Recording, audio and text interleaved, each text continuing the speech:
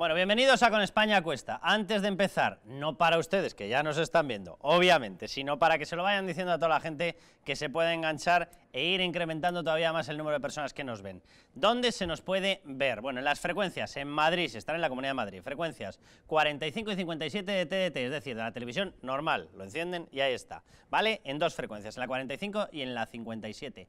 En Zaragoza, en la 8 de Zaragoza, en el canal que eh, tenemos ya acuerdo con ellos, así que bienvenidos a toda la gente de Zaragoza, que llevamos ya, además, unos cuantos programas ya con ellos. Eh, ¿Dónde se nos puede ver online, a través del ordenador, a través de internet? Ponen ustedes tv.eldistrito.es, ahí estamos. En el distrito.es, sin más, ahí también estamos. En redes sociales, ¿dónde nos pueden seguir? En Twitter, Espana Acuesta, sin la ñ, ya saben, estas historias que tiene Twitter. Espana Acuesta.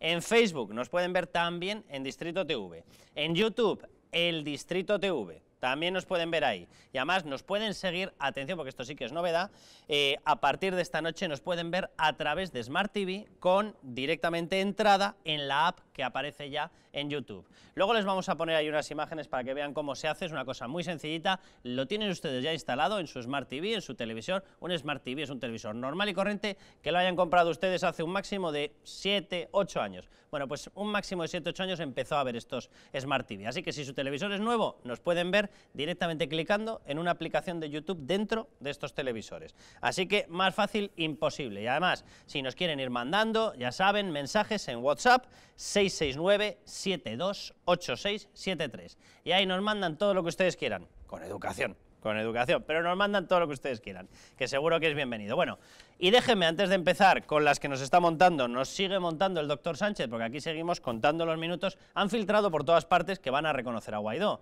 El propio Borrell dijo ya, no, si estamos ya trabajando en un grupo de trabajo, pero la cuestión es que a fecha de ahora siguen sin reconocerlo y dice, pero háganlo ya, si ya lo han filtrado, háganlo ya. ¿Para qué hacen esto? Luego les voy a dar mi particular versión de por qué no lo hacen o cuál es el problema, porque lo van a acabar haciendo, yo estoy convencido, pero eh, ¿cuál es el problema para que no lo hayan hecho antes?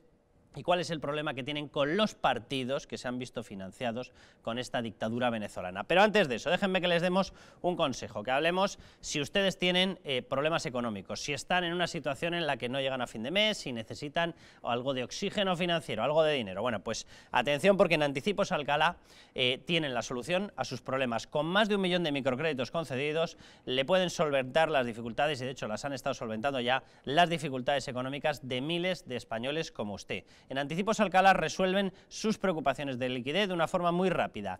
Llamen al teléfono gratuito 900-494-431 y consiguen hasta un 50% de descuento en sus intereses. Sin esperas, sin papeleos, sin sorpresas. Les repito el teléfono, llamando, pueden llamar ahora mismo al 900-494-431 o entrando en la página web www préstamosalcalá.es y consiguen 600 euros en 10 minutos. Bueno, mi visión, ¿qué es lo que está ocurriendo? ¿Por qué el presidente de España, Sánchez, está haciendo el ridículo internacional sin reconocer todavía, después de haber filtrado por todas partes, que lo quiere reconocer, que simplemente era el ultimátum de ocho días. ¿Se acuerdan ustedes la entrevista que tuvimos en este programa la semana pasada con una persona que tiene muchísima información de lo que ha hecho la narcodictadura chavista en estos momentos en manos de Nicolás Maduro, previamente en manos de Hugo Chávez? Dio una serie de detalles. Bueno, entre esos detalles estaba el hecho de que a partir del año 1994 se constituyó una cuestión llamada el Foro de Sao Paulo. El Foro de Sao Paulo lo constituyeron entre tres personas, entre Castro, entre Hugo Chávez y entre Lula da Silva. Sí, ese mito de la progresía, sí, ese mito de la izquierda, Lula da Silva, estaba en esta historia. ¿Qué han estado haciendo? Utilizar el saqueo, el expolio del petróleo venezolano, del pueblo venezolano, para pagar una red de financiación de partidos de extrema izquierda. Una red de financiación que no solamente iba a la gente, es decir, a determinadas personas. Aquí se ha dicho mucho lo de la cúpula de Podemos. Dice, no, pero no era Podemos, eran los jefes de Podemos. O qué casualidad, todos los jefes de Podemos. Oye, se parece mucho, ¿verdad? Parece un sinónimo de Podemos. Pero lo hicieron a través de las personas para no entrar en ilegalidad dentro de los tipos. A partir de 2015 en España está tipificado como delito de financiación financiación ilegal, pero si se hace a través de las personas y previo a la constitución del partido, y han llenado ya las bodegas a ver quién les pilla. Bueno, estrategias que tiene cada uno. Pero, ¿y si eso no se ha cortado? Pues lo que decía el presidente del Tribunal Supremo venezolano, que está en estos momentos en el exilio, en Estados Unidos, es que eso no se ha cortado. Es que eso sigue vivo. Y traslado yo la pregunta, ¿con quién está gobernando en estos momentos Pedro Sánchez? Con Podemos, ¿verdad? Vale. ¿Y si resulta que Podemos, digo, una cuestión, resulta que está dentro de esa red del Foro de Sao Paulo y resulta que, como dijo el presidente del Tribunal Supremo, esa red sigue viva?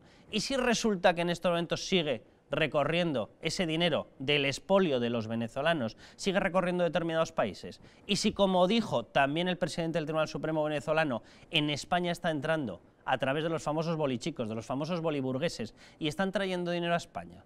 Y si resulta que hay un condicionante porque Pedro Sánchez, si toca X cuestión o si reconoce a X presidente, hay un partido que se enfada mucho y es su principal apoyo. A lo mejor esto explica algunas de las cuestiones, ¿verdad?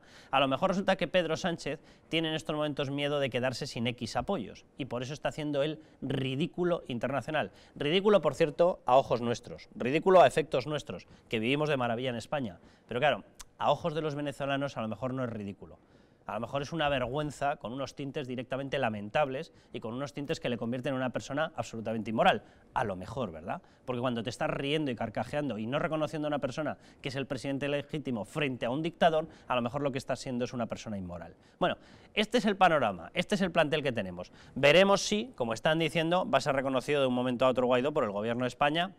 No es que lleguen tarde, llegan horrorosamente tarde. Luis del Pino, ¿cómo estás? Bienvenido.